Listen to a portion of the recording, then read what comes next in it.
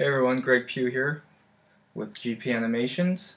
Uh, today I'm going to do an overview of software I just discovered last night called Mischief. The website is madewithmischief.com.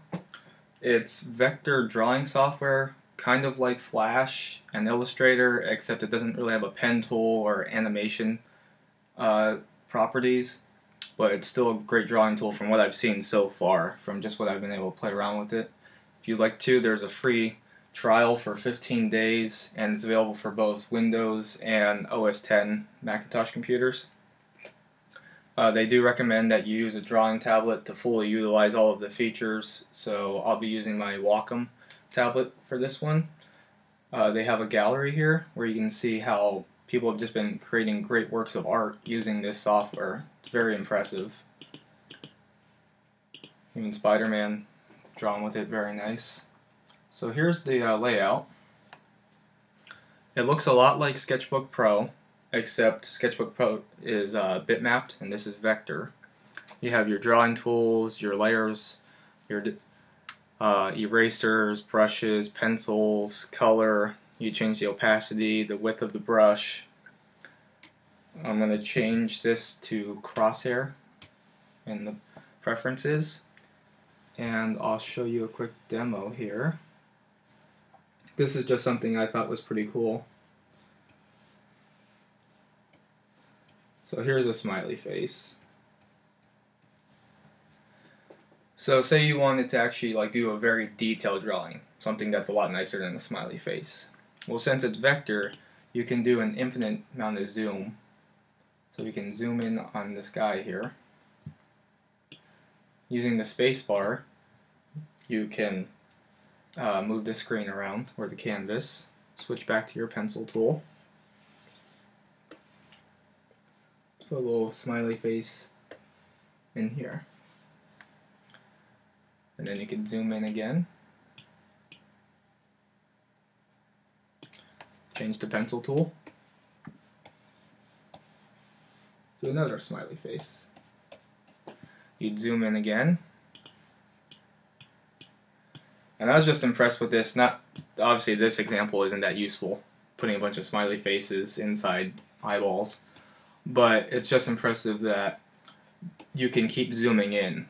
Like even Flash has a limit of how far you can zoom in on a drawing, and then when you zoom out, you can't see anything anymore.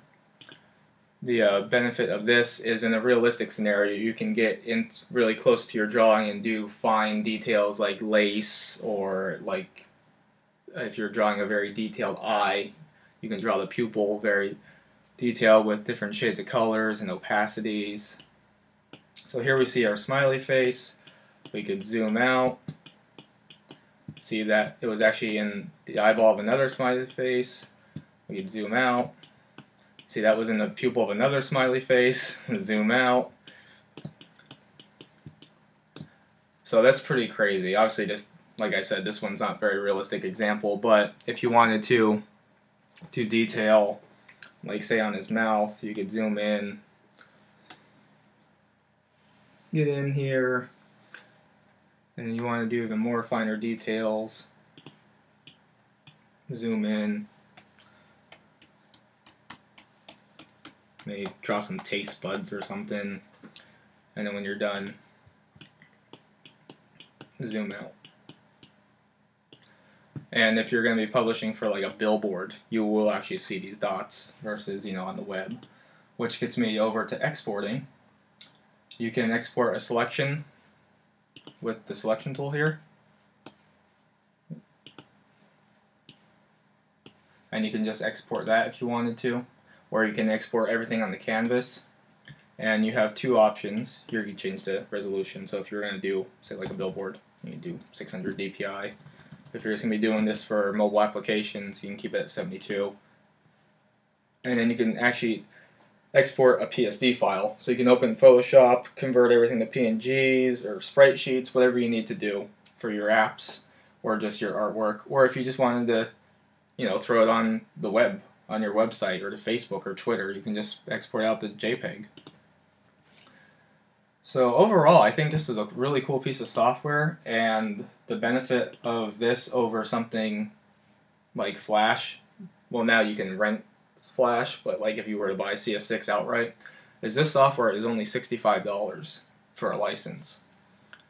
So you can try it out for 15 days. If you're really happy with it, like I am, you can upgrade to the uh, full license for only $65 US. So give it a shot. Check out madewithmischief.com and tell me what you think on my blog.